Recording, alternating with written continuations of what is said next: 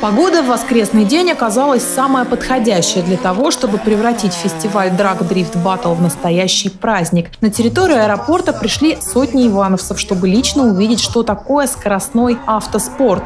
Одновременно на двух параллельных площадках проходил чемпионат ЦФО по дрэг-рейсингу и чемпионат области по дрифту. Дрэг-рейсинг – это параллельные гонки автомобилей, да, а дрифт – это в заносе машины, да, кто круче занесет и правильнее, там тоже свои есть правила. Машины, значит, разные машины, как э, значит, э, советского производства, так и иномарки.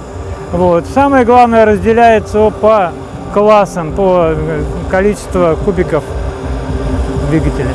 На соревнования приехали участники из разных городов не только Центрального, но и Приволжского федерального округов. В обеих дисциплинах число участников составляло по 23 человека. Гон... В этом году появилось новшество. Это так, так, так называемые временные классы, где лимит введен лимит прохождения 402 метров. Соответственно, например, есть самый старший класс, это с 10 до 11 секунд.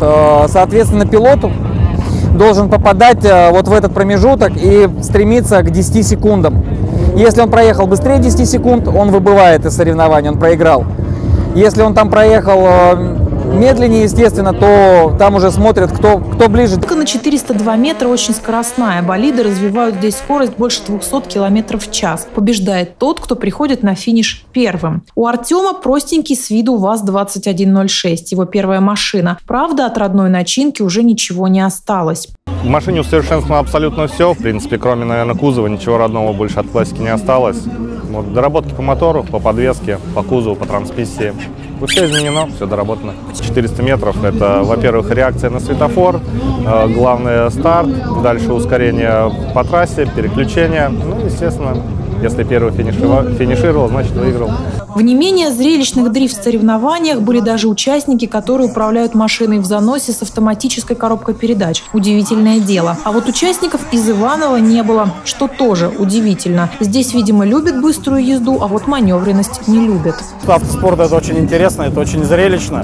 И, конечно, даже просто вот как зрителю наблюдать за происходящим, ну, это просто прикольно. Ну и потом мне очень нравятся машины. Чем больше событий интересных происходит у нас в городе, тем лучше ощущение у жителей города города, то, что у нас есть какая-то жизнь, какое-то движение. И, конечно, автоспорт – это просто один из пазлов а, происходящего. Поэтому мы, конечно, и поддерживаем и организаторов, и спортсменов.